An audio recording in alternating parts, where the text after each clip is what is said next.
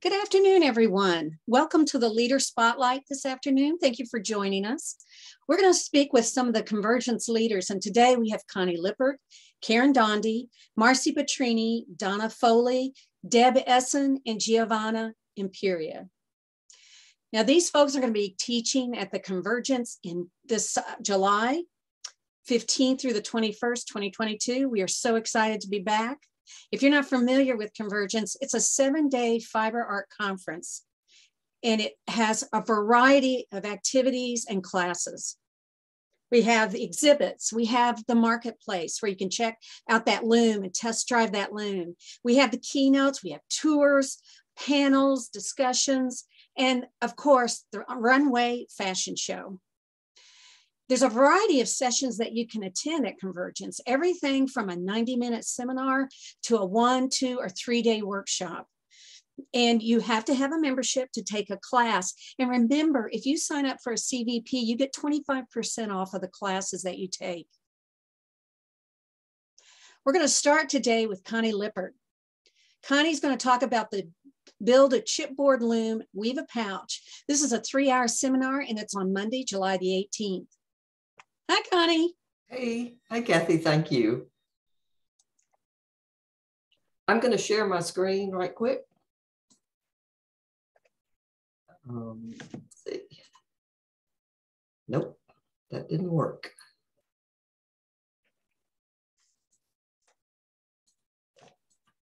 Okay, did I do something wrong here, Kathy? I was trying to. We're seeing your desktop. Okay. So you can do oh, a new are? share. Yes. You're seeing it, but I'm not. Okay. Now I can see it. Okay, good. There you go. Okay. Um, I'm excited to be teaching a, a seminar of uh, use building chipboard looms. And in the seminar, we will also weave a pouch. So basically, chipboard, everyone knows what that is. It's just a big sheet of uh, pressed cardboard or whatever, but it can be cut into any shape that you like uh, on and to make a loom with. Uh, as an example, this is a little mug rug. I've just cut out a six by six square. This is the top right is the front and the bottom right is the bottom. And then when it's finished, we cut ac across the middle of the bottom and tie um, knots in the ends. Uh, you can make any shape, a bookmark. Uh, this is a little tapestry sample. And for this, for most of the time, I put the warp on so that it just goes in little notches at the end of the chipboard. And then when I'm finished, I just take my thumb and push those notches off and I have a fringeless weaving. This is a tapestry sampler. It was also done with the same uh, warp through the notches. And at the end, we just slipped the, the loops off and put the board through to hang it and then tied the other end. Um, this is a, actually a bag with the plain weave on the back and a tapestry with a cartoon on the front. And then uh, these are examples of pouches. And obviously they, you can cut the chipboard and shape it in a way to make any form you want. It's very flexible. It uses very little, uh, well, there's no warp waste and uses very little weft yarns and very efficient way to weave a small project that you can take with you and shape in any way you like. Uh, for the workshop, we'll be making a little chipboard loom uh, similar to this. And this top part is actually the flap. And when you're finished, you push off the edges, pull out the chipboard, and you have a little pouch. And in the workshop, we'll be, we'll be picking one of these sizes uh, to make, not the workshop, but the seminar. Uh, you have the, you can put beads on it or not. We put the beads on as we're putting the warp on the chipboard loom. So that's um, basically what the seminar is. It's just having a little fun and learning how you can actually shape a loom any way you want it to be. It's not restricted by any kind of parameters except what you're able to cut from chipboard. Okay. So that's basically the the work, the seminar and what we're going to do. And it should be a lot of fun. It usually is. Well, I have to jump in here and say that I actually took this session from you when you came to Atlanta. Okay. It was wonderful. It was a great pattern. And we taught it to some kids. We did it with some Girl Scouts, and it just turned out beautifully. So I, I can do a testimony here. it's a great pattern and it's such a nice end result. You can put your phone in it. It was the kids loved it. Right. Anything right. for a phone. And adults do too. I've done it a lot with children, but inevitably the teachers get pulled in and start, you know, making their own. So, yep, I use mine that I made as a sample. I still use it. Great. That's wonderful. Thank you so much, Connie. We appreciate you being here today. And uh, again, her class will be a three hour seminar. It'll be July the 18th. It's a Monday.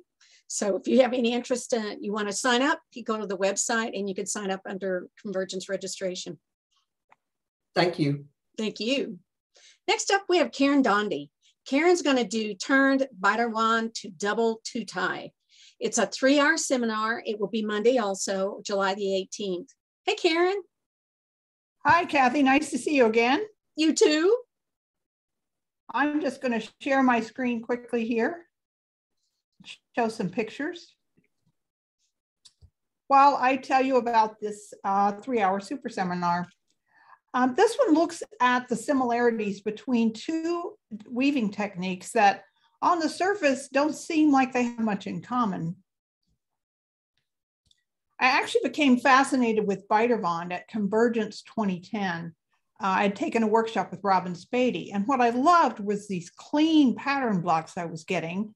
And yet I only needed eight shafts to create, or three shafts to create, sorry, eight shafts to create three blocks. So when I got home, I tried to adapt this very traditional coverlet weave to a thin drapey scarf. That two shuttle threading or treadling and the very fine yarns took me forever to weave. So I needed to find a more practical way to work with the structure. And after about my fourth day into weaving this particular scarf, I asked myself, what if I turned the draft? I had chosen, per Robyn's workshop, to thread both of the traditional Beiderwand warps with the same yarn. So when I turned the draft, I could now weave with one shuttle. What I didn't realize at the time was how much design potential this opened up for the new supplementary warp threading. There was a lot of more research and some helpful advice from others along the way. And I discovered that I could weave several different weave structures with this threading just by changing the tie up and the treadling. I played with that idea for a while and I actually taught the technique for the first time at Convergence 2012. I kept experimenting and teaching more workshops. And somewhere along the way, and I honestly can't recall when the light bulb went off, but I realized that the threading that results when you turn a Beiderwand draft is a double two tie unit weave. So I pulled out my copy of Clotilde Barrett's and Eunice Smith's book, Double Two Tie Unit Weaves, had it on the library shelf, just had never looked at it. And I found there were some differences in how the blocks were arranged for some of those variations. This is an example of a uh, plaited twill with the pattern shafts going in straight in point twill order there, one right after the other. But yes, if you look at it structurally, the threading unit with two tie down shafts and two pattern shafts per block was the same as for turned Beiderwand. Also, um, as I started to experiment, I quickly noticed some challenges creating effective double two tie designs from my uh, usual turned Beiderwand drafts. Most of those related to color selection and yarn size. So I dived into that, dived or dove, I never checked. So I dived into that Barrett Smith book and started looking at my turned Beiderwand designs from the opposite direction. Rather than designing for turned Beiderwand and then plugging in a double two tie tie up and treadling, I started choosing colors and yarns and block arrangements that would work better for double two tie designs, particularly plaited twills like this one. Then I adapted those drafts to weave turned Beiderwand or turned extended summer and winter or double weave windows or any of the other various structures that I had already been experimenting with. Here's another example using block patterns, more typical of turned Beiderwand, and the double two tie variation. This seminar explores this relationship between the two weaves in more detail. Um, it is heavy into drafting, particularly computer drafting. So people have to be prepared for that when they sign up. But for those structure, I call them structure junkies like me, it feeds that need to solve design puzzles and with a multitude of different possible solutions. Also, the longer super seminar format is going to allow participants to practice the drafting technique and experiment with some designs, whether they're using a laptop that they've brought and their own weaving software, or maybe on graph paper and pencil with pencil. I'm going to provide one threading and we'll see how many different designs we can come up with with tie up and treadling variations. So if anybody has any questions, uh, you can reach me at the email address or check out my website for some more pictures. And I, I hope to see more people there. Thank you, Karen. Yeah, I just I have to agree with our editor who just said eye candy. That is beautiful, beautiful weaving. I that's Thank wonderful. You. I encourage you all to check it out. Like you, she said, you can either go to our website or her website and you can learn more about this class. Again, it's a three-hour seminar. It's on Monday, July the 18th. Thank you, Karen. Appreciate you being on here today. Thanks, Kathy. Next up, we have Marcy Petrini. Color Techniques for Simple Warps. This is a one-day workshop, which is Sunday, July 17th. Hey, Marcy. Hi, and thank you for having me here. And I will share my screen. Um, let's see. No, I don't want to leave it. Zoom is being difficult here today. Let's see. Can you?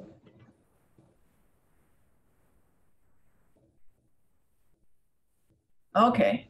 There you go. Now we go. Okay. Uh, let me get, there we go. Okay, so as Kathy said, my um, one day workshop is color techniques for simple warps. So we're going to be weaving with uh, plain weave and doing some fun things on uh, plain weave, but we're also going to talk about how to handle the color under the circumstances. And um, these two monographs are going to be part of the class. There's going to be, there's a lot more in the monographs than we're going to be able to cover, but that's okay. You can go home and read it. So um, the interesting things about color to me is the um, landmark experiment that Josef Albers did, oh, some 56 years ago, where he told the students, he's published in this uh, Interaction of Color, his book, he told students to go and get um, an object of, uh, of the color Coca-Cola red. Now, Coca-Cola has been around since the late uh, 1800s, so everybody knows what Coca-Cola red is, right? Wrong people showed up with all sorts of different reds. And what was interesting that people showed up with all sorts of different reds, even if they told them it allowed them to match their red to, to a bottle of Coke. At that time it was bottles. Um, so what does that mean? That means that we all see colors differently. So if I say red, I know which red I mean, but you don't know which red I mean.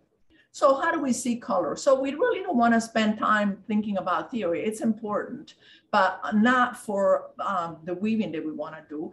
And a list of colors and do and don'ts is also not very helpful. What we want to do is we need to discover how each one of us sees the color. Luckily, we, for example, how many colors are in this rainbow? Not always seven. Try it next time. So the interesting things is that the brain processes information uh, in a specific way. It's not, it's scientific, but it's not very difficult. But and you, we see things like uh, we can get color blending. We are the same color can look lighter or dark.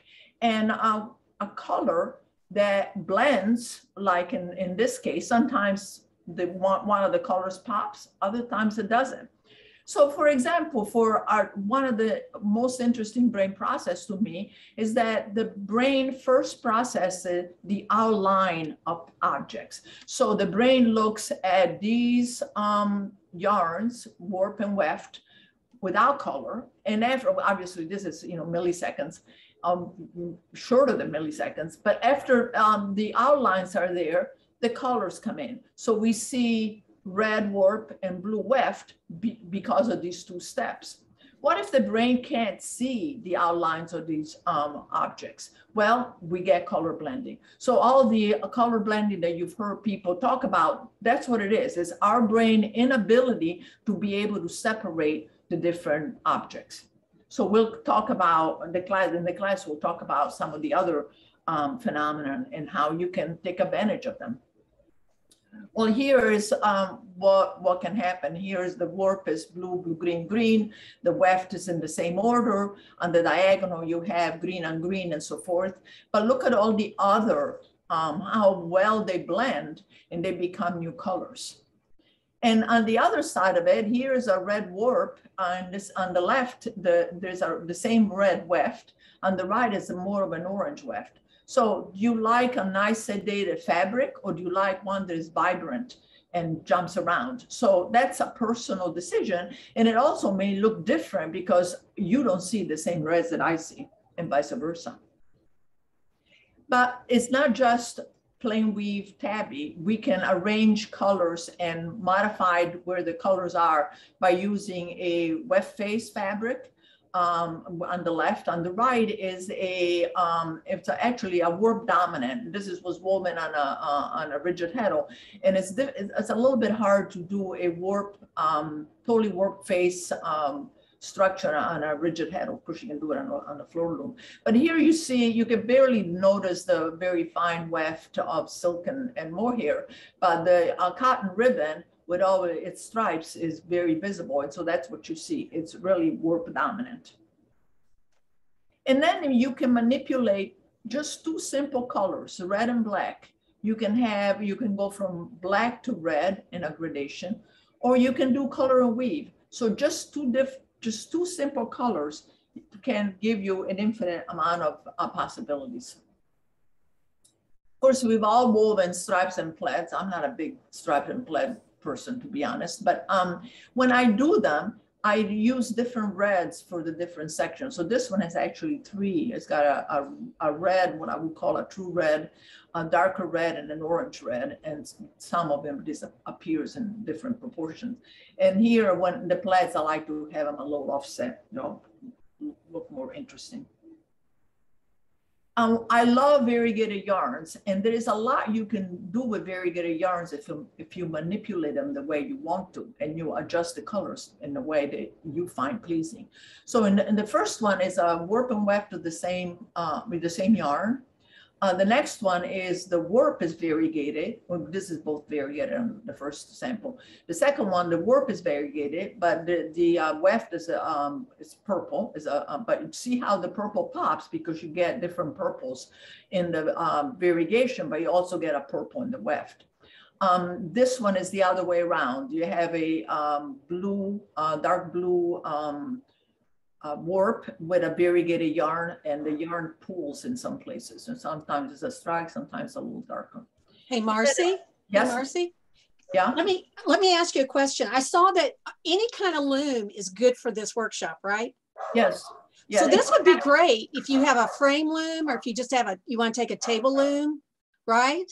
Right, right. Yeah. The only thing that is not going to work is a pin loom because Okay. you can't control the set. Okay. But if you can control the set somehow, you know, rigid heddle, you have different heddles. Um, yeah, that will work. And actually, you can do what uh, Karen, you can get a mat like Karen showed and, and, and you make these. Yes. Okay.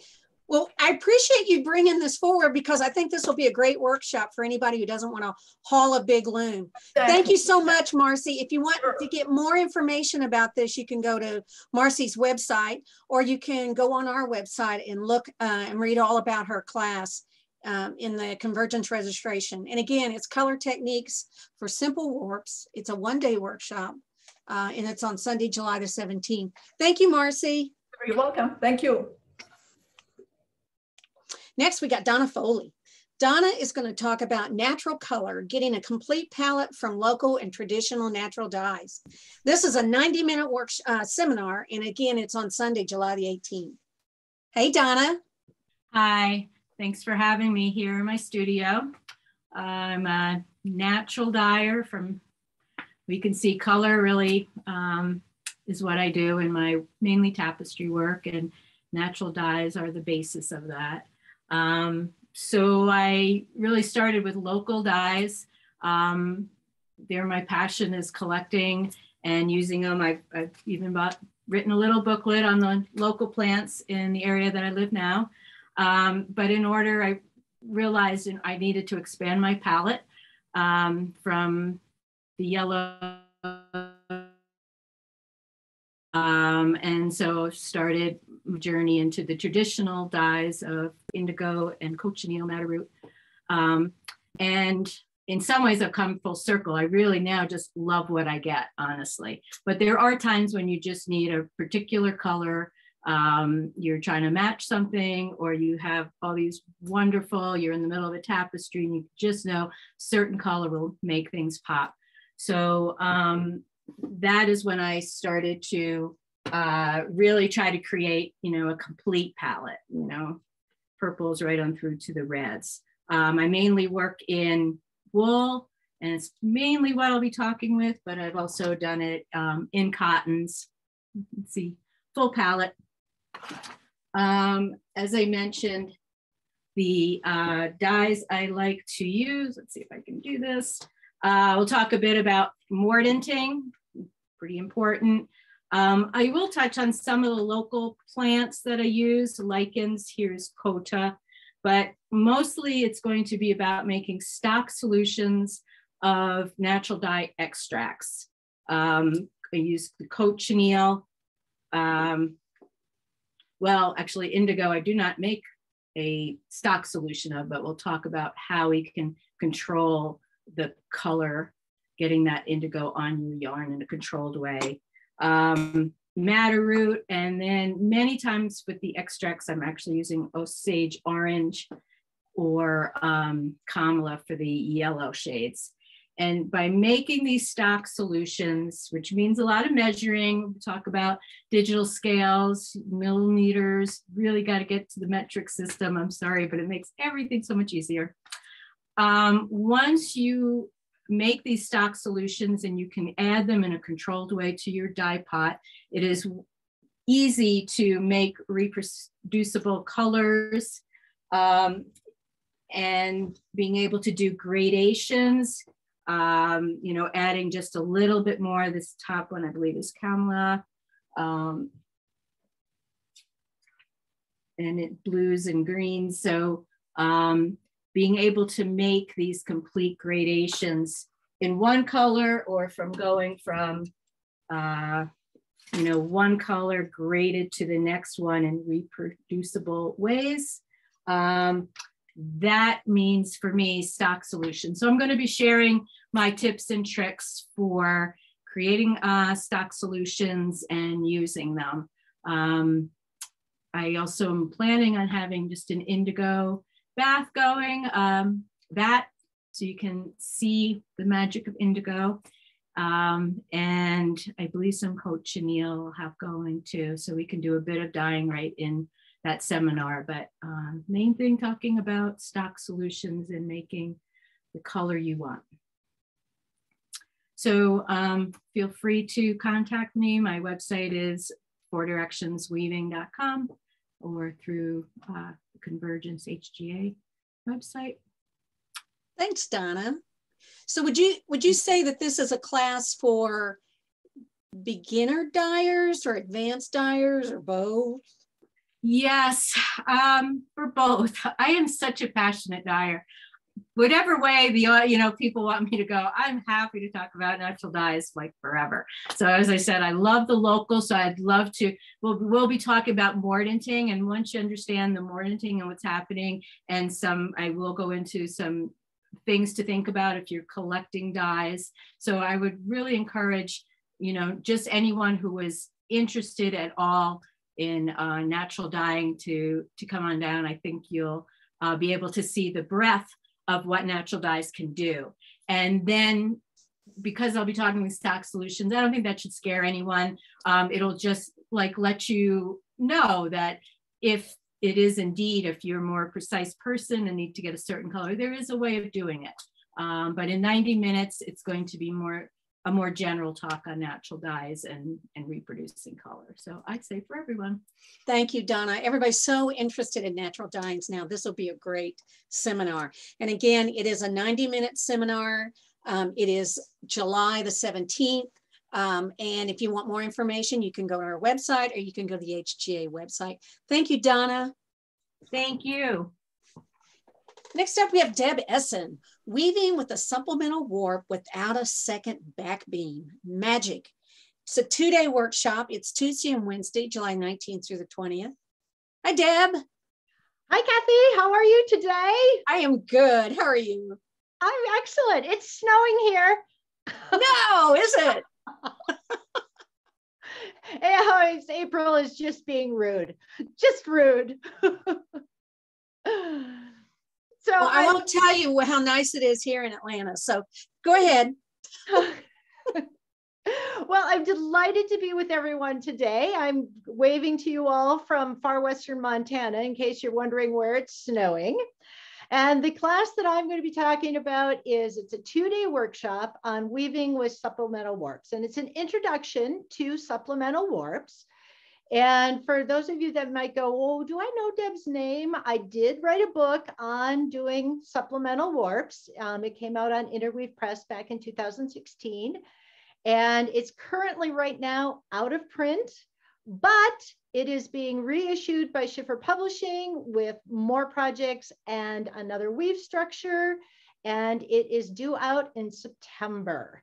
So that's very exciting news. So what we do in this workshop is that I will be teaching you how to get your loom set up so that you do not need a second back beam to weave a supplemental warp. And for those of you that are going, well, wait, wait, what's a supplemental warp? What a supplemental warp is, is extra warps, or it can be one warp or it can be multiple warps that are working with your base cloth. And we work a lot with turned drafts. And what that does is it turns a two shuttle weave like overshot or monk's belt into a one shuttle weave so that you're weaving your base cloth and your pattern at the same time.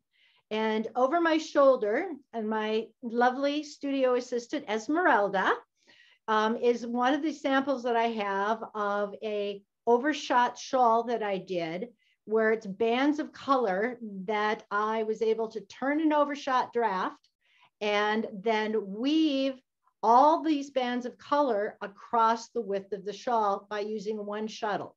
And it's really, really fun. And it really, really speeds up your two shuttle weaves. So in this class, um, you need a table loom or a floor loom, and you need at least four shafts. If you have a four shaft loom, then you will be doing our monk's belt. And before you poo poo monk's belt, monk's belt is the best way to go down the rabbit hole of design that I have ever had. Um, for example, um, this is one of the samples out of my actual book, and I've taken blocks of monk's belt, and you can probably maybe see is that there's two blocks, the big blocks and the little blocks. And then you can break those blocks apart so that you can change colors, you can change their placement on the fabric, you can do all sorts of things with size and, and playing around with that. I'm actually wearing a monk's belt scarf right now. And what this is, is once again, just two blocks of monk's belt.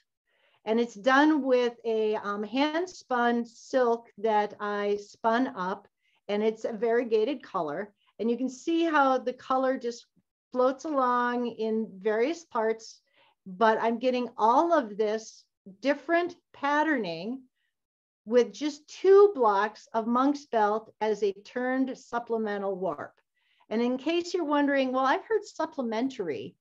It, supplemental and supplementary are the same thing, literally the same thing, according to Webster's dictionary.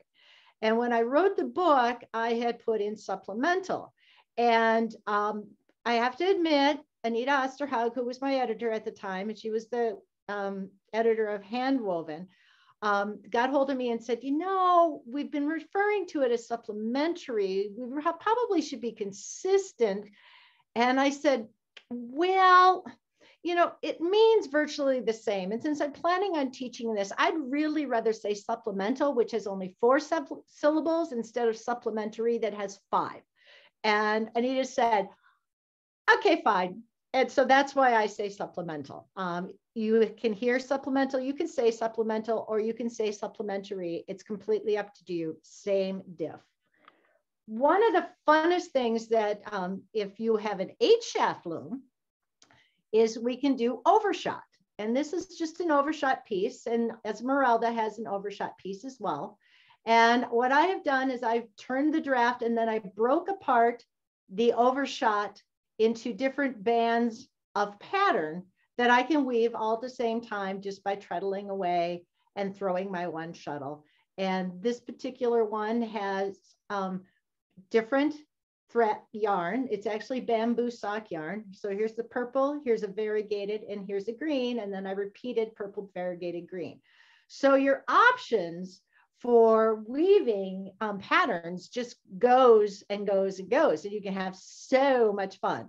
So what I'm going to teach you is you'll be bringing a warp and so, um, you'll have the instructions emailed to you about a month before convergence. I will have you bring a warp all wound for both your base cloth and for your supplemental, very specific directions. We will be warping in class. And the reason we warp in class is because it is a very specific way of setting this up so that you do not need a second back beam on your warp. So um, we'll be setting it up, we'll be weaving our samples, and then we have a big show and tell reveal at the end of class. It's grand fun. Um, you should be at least a um, at least an advanced beginner. You should be very, very comfortable with warping your loom independently, um, and then all the way up to experienced. So I hope that some people will join us. It's it is grand fun. I'm totally addicted, and I will admit it. Thanks, Deb. It sounds fascinating. And again, if you want more information, you can go to Deb's, Deb's uh, website or you can come to the HGA website and learn more about her class. And again, weaving with supplemental warps without a second back beam, magic. Two-day workshop. It's Tuesday and Wednesday. Um, the 19th and the 20th. Thanks, Deb. Thank you. I'm really bummed everybody's classes. I'm going, oh, that would be fun, but I'm teaching at that time. Oh, wait. that would be fun. Yeah. All right. Last but not least is Giovanna Imperia.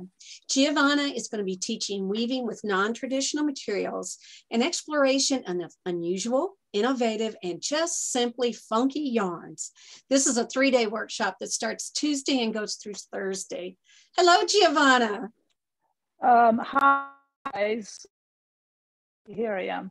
Okay. Um, thank you for uh, for this opportunity. This is going to be uh, a fun exploration uh, for a lot of people that are interested in doing more with their weaving that does not necessarily involve um, um, complex structures. Um, Giovanna, can the, you? Uh, interesting thing about um, innovative materials is yes. I was just going to uh, ask, you, There you go. That's better. We were. Yes. There you go. yeah, I, the latest version of uh, Zoom on, on, my iPad has all sorts of different features. Um, so these are these are materials that come from um, all sorts of different places.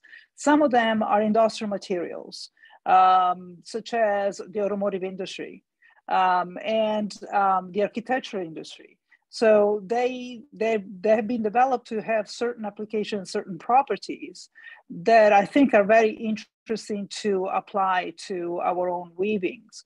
But what that means is that you really need to experiment, uh, make notes, and, and, and explore uh, design opportunities. So you, you're not going to be able to um, uh, do a scarf, for instance, with a thick yarn that is a steel core. It will never drape properly. So you kind of need to think about the materials that you have and what you can do. Um, we're not going to get down the, the, the rabbit hole of um, active yarns such as crepe yarns and elastic yarns. There are other classes that cover those materials. I'm not going to get into that. What we're going to look at is different types of polyesters, different types of rubber, um, and um, and some um, interesting um, uh, um, other interesting unusual materials. So Giovanna, I want to see. Can if, I interrupt you for just yeah. a second? Are you doing a screen yeah. share? Mm, I was hoping to see. I don't have a presentation. No, no, no. I just wanted to make uh, sure. I couldn't remember what we said you were going to do. I'm sorry to interrupt. Keep going. I, I was I was hoping. Well, I was hoping to be able to focus not on me, but on the samples that I have. And I think I can do it. Here we go. Hey, we go. how about that? There you go. Yeah, I think I think this stuff is more interesting.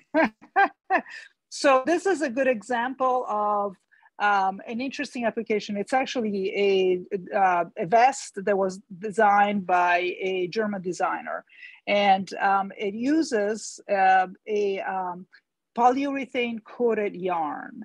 Uh, so the core of the yarn is uh, cotton, I believe, and then it's dipped into uh, uh polyurethane, which is an, a, type of rubber. Um, and um, it does have a very interesting kind of suede feel to it. Um, and it's fairly drapable. And I, I, like it a lot. It's a very interesting material. Um, you can do all sorts of different uh, things. So, for instance, let me move that. This is a piece that I did where I used the same kind of yarn, but mine is thick and thin. And so you can see that it almost looks like an ikat. The white is the polyurethane coated yarn. The beige is silk. And, and because it's thick and thin, you have these very interesting blocks. But by mixing it with silk, it remains fairly, um, fairly drapable.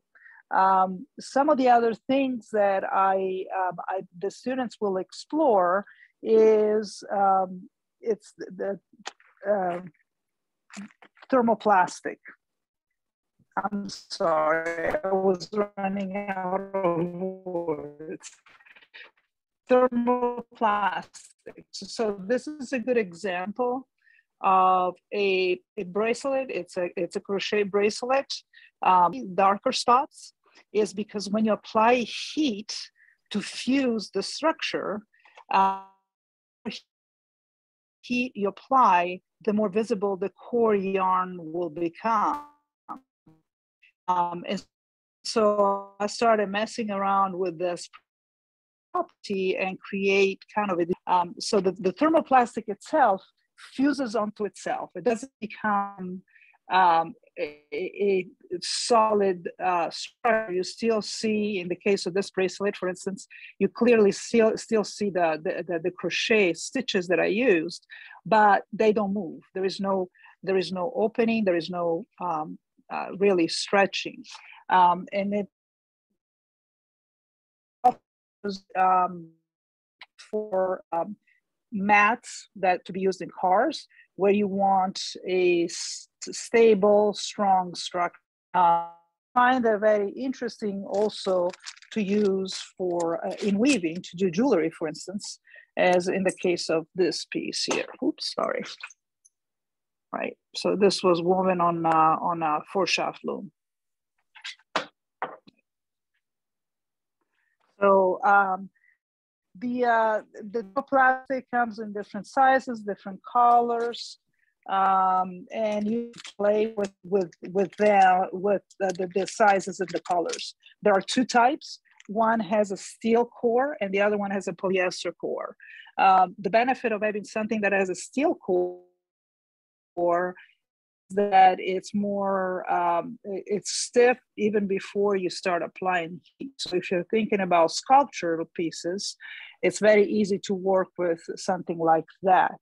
Um, another material that we are going to explore the uh, uh, the applications uh, in weaving is uh, it's this. It's not very interesting. As you can see it looks like just any other white yarn but is it is actually a polyester yarn that when you apply heat, it's, it becomes stiff.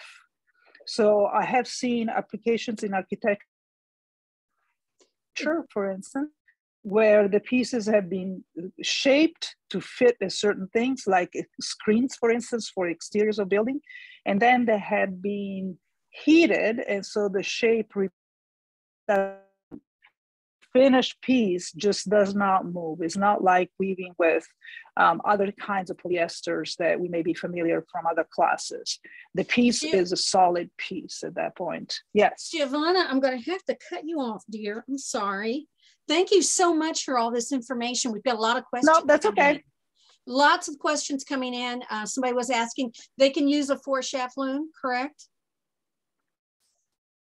Yes. Yes. Yes. Okay. Yes. Good. And and we're going to talk. Um, yes. I'll mention it a couple times, but um, weaving with non-traditional materials. If you are looking for something a little bit, as she says, funky, here's your class. It's an exploration of unusual and innovative and just simply funky yarns. It's a three-day workshop. Lots to learn in three days, Tuesday through Thursday, July 19th through the 21st. Thank you, Giovanna. Just thank remember, you, thank you. I hope to see a bunch of people there. Yes, you can register online at weavespindye.org. Also, re remember that you can see the you can download the materials list for any workshop, any session, if there is a materials list. And that may help you decide, oh, do I have a four harness or what are we going to do? What do I need to bring? So be aware that material is available to you before you register and you'll find out um, all the things that you will have to have for a particular workshop, or if there's anything. So register online. Um, new hotels. I've had a, couple of calls today even about the hotels. The Marriott is pretty much full. You can try it. Crowne Plaza, Knoxville, uh, lots of rooms there. They have a shuttle if you would rather ride back and forth from your hotel. The Hyatt is uh, available. The Cumberland House is uh, two blocks away. So uh, be sure you use the link. Someone else asked about that. You won't get the discount if you don't use the link. So be sure to go to the website, check the link, and make your hotel reservations today. I hope you'll join us in Knoxville. It is July 15th through the 21st. Lots to do and see. Um, if you go online, we have plenty of information about all the activities. We still have openings at some of our um, juror talks if you're interested in seeing that and we've got classes available. Please join us. And thank you so much for joining this afternoon. We have a couple of more sessions coming up about more classes if you're interested, and you can see all that online on our website. Thank you and have a great afternoon.